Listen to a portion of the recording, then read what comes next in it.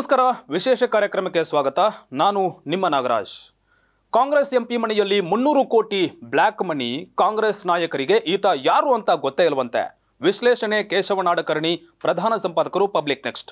ರಾಜಕಾರಣಿಗಳ ಭ್ರಷ್ಟಾಚಾರ, ಅವ್ಯವಹಾರಕ್ಕೂ ಒಂದು ಮಿತಿ ಇರಬೇಕಲ್ವೇ? ಬಡವರ ಹೊಟ್ಟೆ ಹೊಡೆದು ಸರ್ಕಾರಕ್ಕೆ ಮೋಸ ಮಾಡಿ ಮನೆಯಲ್ಲಿ ಬ್ಲ್ಯಾಕ್ ಮನಿ ಗುಡ್ಡೆ ಹಾಕಿಕೊಂಡು ಕುಳಿತಿದ್ದ ಕಾಂಗ್ರೆಸ್ನ ಜಾರ್ಖಂಡ್ ರಾಜ್ಯಸಭಾ ಮೆಂಬರ್ ಮನೆ ಹಾಗೂ ಕಚೇರಿ ಸೇರಿದಂತೆ ಇತರೆಡೆ ಕೋಟಿ ಕೋಟಿ ಹಣ ಪತ್ತೆಯಾಗಿದೆ.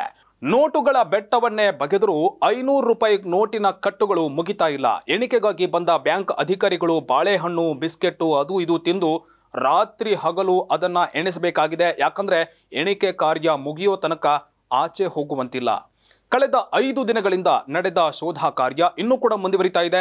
ಹತ್ತಾರು ಬ್ಯಾಗ್ಗಳಲ್ಲಿ ಐಟಿ ಅಧಿಕಾರಿಗಳು ನೋಟಿನ ಸಾವಿರಾರು ಕಟ್ಟು ಹಾಗೂ ಭಾರಿ ಪ್ರಮಾಣದ ಬಂಗಾರದ ಆಭರಣ ತುಂಬಿಕೊಂಡು ಸಾಗಿಸ್ತಾ ಇದ್ದಾರೆ. ಸದ್ಯ ಅವರ ಬಳಿ ವಿಶಿಷ್ಟ ಬ್ಯಾಗ್ ಸಾಕಾಗದೆ ಇರಬೇಕಾದ್ರೆ ಮಾರುಕಟ್ಟೆಯಿಂದ ಅದೇ ಮಾದರಿಯ ಬ್ಯಾಗ್ಗಳನ್ನ ಖರೀದಿಸಿ ಅದರಲ್ಲಿ ನೋಟುಗಳನ್ನು ತುಂಬಾ ಸಾಗಿಸಬೇಕಾಗಿದೆಯಂತೆ. ಈ ರೀತಿ ನೂರಾರು ಕೋಟಿ ಹಣ ಆಭರಣ ವಶಪಡಿಸಿಕೊಂಡಿದ್ದು ಸ್ವತಂತ್ರ ಭಾರತದ ಇತಿಹಾಸದಲ್ಲಿಯೇ ಇದೇ ಮೊದಲನೇ ಬಾರಿ. ಈ ಪ್ರಮಾಣದಲ್ಲಿ ಅಕ್ರಮ ಹಣ ಯಾವುದೇ ಐ ಟಿ ರೇಡ್ನಲ್ಲಿಯೂ ಸಿಕ್ಕಿಲ್ಲ ಅಂತ ಹೇಳಲಾಗ್ತಾ ಇದೆ. ಸಾಹು ಮನೆಯಲ್ಲಿ ಎಣಿಸಲು ಸಾಧ್ಯವಾಗದ ಕಾರಣ ಇನ್ನು ಅಪಾರ ಪ್ರಮಾಣದ ಹಣವನ್ನ ಬ್ಯಾಂಕುಗಳಲ್ಲಿ ಎಣಿಕೆ ಮಾಡಲಾಗ್ತಾ ಇದೆಯಂತೆ.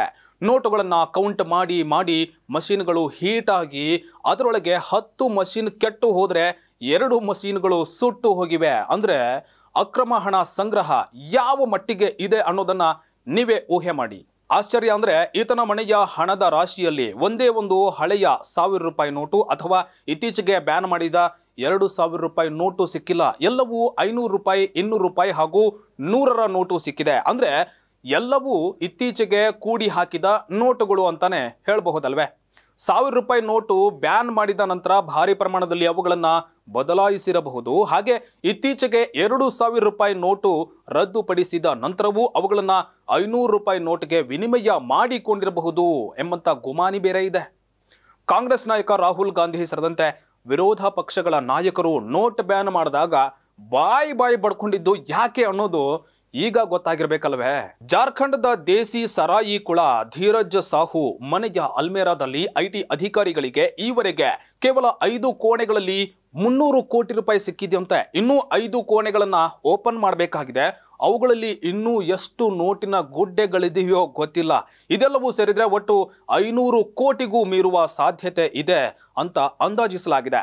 ಐಟಿ ಅಧಿಕಾರಿಗಳು ಧೀರಜ್ ಸಾಹು ಮನೆ, ಆಫೀಸು ಸಿಬ್ಬಂದಿಯ ಆಫೀಸು ಮತ್ತೆ ಮನೆ ಮತ್ತು ಸಂಬಂಧಿಗಳ ಮನೆ ಸೇರಿದಂತೆ ಇಪ್ಪತ್ತಕ್ಕೂ ಹೆಚ್ಚು ಕಡೆ ಕಟ್ಟಡಗಳನ್ನು ಸೀಸ್ ಮಾಡಿದ್ದಾರೆ. ಹಾಗಾದ್ರೆ ನೂರಾರು ಕೋಟಿ ಅಕ್ರಮ ಹಣದ ಈ ಧೀರಜ್ ಸಾಹು ಯಾರು ಮತ್ತು ಈತನಿಗೆ ಕಾಂಗ್ರೆಸ್ ಪಕ್ಷದ ನಂಟು ಏನು ಅನ್ನೋದು ದೇಶದ ಜನತೆಗೆ ಗೊತ್ತಾಗಬೇಕಲ್ವೇ? ಜಾರ್ಖಂಡ್ದ ಧೀರಜ್ ಸಾಹು ಒಬ್ಬ ದೇಸಿ ಸರಾಯಿ ಕುಳ ಒಡಿಶಾ ರಾಜ್ಯದಲ್ಲಿ ಸರಾಯಿ ತಯಾರಿಕೆ ಮಾರಾಟ ಮಾಡಿಕೊಂಡಿದ್ದಾತ. ಯುವಕನಿದ್ದಾಗಲೇ ಸಾವಿರದ ಒಂಬೈನೂರ ಎಪ್ಪತ್ತೇಳರಲ್ಲಿ ಯುವ ಕಾಂಗ್ರೆಸ್ನ ನಾಯಕನಾಗಿದ್ದ. ಈತನ ತಂದೆ ಬಲದೇವ ಸಾಹು, ಸಹೋದರ ಶಿವಪ್ರಸಾದ್ ಸಾಹು ಸಹ ಕಾಂಗ್ರೆಸ್ ಪಕ್ಷದ ನಾಯಕರು. ಸಹೋದರ ಶಿವಪ್ರಸಾದ್ ಸಾಹು ಸಹ ಎರಡು ಸಲ ಕಾಂಗ್ರೆಸ್ನಿಂದ ಎಂಪಿ ಆಗಿದ್ದ. ಅಂದರೆ ಸಾಹು ಸಂಪೂರ್ಣ ಫ್ಯಾಮಿಲಿಗೆ ಕಾಂಗ್ರೆಸ್ ಪಕ್ಷವಾಗಿತ್ತು. ಸೋನಿಯಾ ಹಾಗೂ ರಾಹುಲ್ ಅವರ ಪರಮಾಪ್ತರಾಗಿದ್ದರು ಹೀಗಿರಬೇಕಾದ್ರೆ ಕಾಂಗ್ರೆಸ್ ನಾಯಕರು ಸಹ ಸಾಹು ಫ್ಯಾಮಿಲಿ ವ್ಯವಹಾರಗಳ ಬಗ್ಗೆ ಗೊತ್ತೇ ಇಲ್ಲ ಅಂತ ಹೇಳೋದು ಒಂದು ದೊಡ್ಡ ಜೋಕಲ್ವೇ. ಸಾರಾಯಿ ಮಾರಿ ಬಡವರ ಹೊಟ್ಟೆ ಹೊಡೆದು ರಾಜಕಾರಣ ಮಾಡುವ ಇಂಥವರಿಂದ ಪ್ರಜಾತಂತ್ರ ಉಳಿಯೋದಿಕ್ಕೆ ಸಾಧ್ಯನಾ? ಇಂತಹ ಭ್ರಷ್ಟರನ್ನ ಮೂರು ಸಲ ರಾಜ್ಯಸಭೆಗೆ ಆಯ್ಕೆ ಮಾಡಿ ಕಳಿಸ್ತಿರಲ್ಲ ನಿಮಗೆ ನಾಚಿಕೆ ಆಗೋದಿಲ್ವೇ? ರಾಜ್ಯಸಭೆ ಚುನಾವಣೆಯಲ್ಲಿ ಈತ ತನ್ನ ಬಳಿ ಇರುವ ನಗದು ಎಷ್ಟು ಅಂತ ಘೋಷಿಸಿಕೊಂಡಿದ್ದ ಗೊತ್ತೇ? ನೂರಾರು ಕೋಟಿ ತನ್ನ ತಿಜೋರಿಗಳಲ್ಲಿ ಕೊಳಿತಾ ಇದ್ರೂ ತನ್ನ ಬಳಿ ಇದ್ದದ್ದು ಕೇವಲ ಹದಿನೈದು ಲಕ್ಷ ರೂಪಾಯಿ ಅಂತ ನಾಮಪತ್ರ ಸಲ್ಲಿಸುವಾಗ ಘೋಷಣೆ ಮಾಡಿಕೊಂಡಿದ್ದ. ಯಾವ ಧೀರಜ್ ಸಾಹುನ ಮನೆಯಲ್ಲಿ ನೋಟಿನ ಬೆಟ್ಟವೇ ಬೆಳೆದು ನಿಂತಿತ್ತೋ, ಅದೇ ಸಾಹು ಭಾರತ್ ಜೋಡೋ ಯಾತ್ರೆಯಲ್ಲಿ ರಾಹುಲ್ ಗಾಂಧಿಯನ್ನ ಅಭಿನಂದಿಸಿ ಜೊತೆ ಜೊತೆಯಲ್ಲೇ ಹೆಜ್ಜೆ ಹಾಕಿದ್ದ. ಜಾರ್ಖಂಡ್ಗೆ ಈ ಯಾತ್ರೆ ಹೋಗೇ ಇರಲಿಲ್ಲ, ಆದರೂ ಕಾಂಗ್ರೆಸ್ಸಿನ ಈ ರಾಜ್ಯಸಭಾ ಸದಸ್ಯ ರಾಹುಲ್ಗೆ ಸಾಥ್ ಕೊಟ್ಟಿದ್ದ. ಕಾಂಗ್ರೆಸ್ ಎಂಪಿಯ ಭ್ರಷ್ಟಾಚಾರ ಬಯಲಿಗೆ ಬರ್ತಾ ಇದ್ದಂತೆ ಕಾಂಗ್ರೆಸ್ ವರಿಷ್ಠ ಯುವ ನಾಯಕ ರಾಹುಲ್ ಗಾಂಧಿಯ ನಫರತ್ ಕಿ ಬಜಾರ್ದಲ್ಲಿಯ ಮೊಹಬ್ಬತ್ ಕಿ ದುಕಾನ್ ಬಹುಶಃ ಕ್ಲೋಸ್ ಆದಂತೆ ಕಾಣ್ತಾ ಇದೆ. ಯಾಕಂದ್ರೆ ಯಾರೊಬ್ಬ ಕಾಂಗ್ರೆಸ್ಸಿಗನು ಈ ಬಗ್ಗೆ ಬಹಿರಂಗವಾಗಿ ಹೇಳಿಕೆ ಕೊಟ್ಟಿಲ್ಲ. ಕಾಂಗ್ರೆಸ್ನ ನಾಯಕನೊಬ್ಬನ ಬ್ರಹ್ಮಾಂಡ ಭ್ರಷ್ಟಾಚಾರ ಜಗಜ್ಜಾಹೀರಾದ್ರೂ ರಾಹುಲ್ ಗಾಂಧಿ ನಾಪತ್ತೆ. ಅದ್ಯಾವ ದೇಶ ಸುತ್ತಿತ್ತಿದ್ದಾರೋ ಗೊತ್ತಿಲ್ಲ. ಅದ್ಯಾವ ಯೂನಿವರ್ಸಿಟಿಯಲ್ಲಿ ಭಾರತದ ಪ್ರಜಾತಂತ್ರ ಅಪಾಯದಲ್ಲಿದೆ ಅಂತ ಭಾಷಣ ಮಾಡ್ತಿದ್ದಾರೋ ಗೊತ್ತಿಲ್ಲ. ಐ ಟಿ ರೇಡ್ನಲ್ಲಿ ಸಿಕ್ಕಿರುವ ಧೀರಜ್ ಸಾಹು ಹಣಕ್ಕೂ ಕಾಂಗ್ರೆಸ್ಗೂ ಯಾವುದೇ ಸಂಬಂಧ ಇಲ್ಲ. ಅದ್ರ ಬಗ್ಗೆ ಆತನೇ ಹೇಳಬೇಕು ಅಂತ ಕಾಂಗ್ರೆಸ್ ಮುಖಂಡ ಜೈರಾಮ್ ರಮೇಶ್ ರಿಯಾಕ್ಷನ್ ಕೊಟ್ಟು ಜಾರ್ಕೊಂಡಿದ್ದಾರೆ. ಧೀರಜ್ ಸಾಹು ಬ್ರದರ್ ಶಿವರಾಜ್ ಸಾಹುನನ್ನ ಎರಡು ಬಾರಿ ಕಾಂಗ್ರೆಸ್ ಎಂಪಿ ಮಾಡಿ ಧೀರಜ್ ಸಾಹುನನ್ನ ಮೂರು ಸಲ ರಾಜ್ಯಸಭೆಗೆ ಕಳಿಸಿರುವ ನಿಮಗೆ ಆತನ ವ್ಯವಹಾರಗಳ ಬಗ್ಗೆ ಗೊತ್ತೇ ಇಲ್ಲ ಅಂತ ಜಾರಿಕೊಂಡ್ರೆ ಈ ದೇಶದ ಜನತೆ ಅದನ್ನು ನಂಬ್ತಾರೆ ಅನ್ಕೊಂಡಿದ್ದೀರಾ? ಯಾವುದೇ ದಾಳಿ ನಡೆದಾಗ ಜಾರಿ ನಿರ್ದೇಶನಾಲಯ ಮತ್ತು ಐಟಿ ಇಲಾಖೆಯನ್ನ ಅಪರಾಧಿ ಸ್ಥಾನದಲ್ಲಿ ನಿಲ್ಲಿಸುವ ದಿಲ್ಲಿ ಮುಖ್ಯಮಂತ್ರಿ ಅರವಿಂದ್ ಕೇಜ್ರಿವಾಲ್, ಪಶ್ಚಿಮ ಬಂಗಾಳ ಸಿಎಂ ಮಮತಾ ಬ್ಯಾನರ್ಜಿ, ಉತ್ತರ ಪ್ರದೇಶದ ಮಾಜಿ ಮುಖ್ಯಮಂತ್ರಿ ಅಖಿಲೇಶ್ ಯಾದವ್ ಸೇರಿದಂತೆ ಯಾವುದೇ ವಿರೋಧಿ ನಾಯಕರು ಕಾಂಗ್ರೆಸ್ನ ರಾಜ್ಯಸಭಾ ಮೆಂಬರ್ ಧೀರಜ್ ಸಾಹುನಿಂದ ವಶಪಡಿಸಿಕೊಂಡಿರುವ ಮುನ್ನೂರು ಕೋಟಿ ಅಕ್ರಮ ಹಣದ ಬಗ್ಗೆ ಚಕಾರ ಎತ್ತದೆ ಮೌನವಾಗಿದ್ದಾರೆ.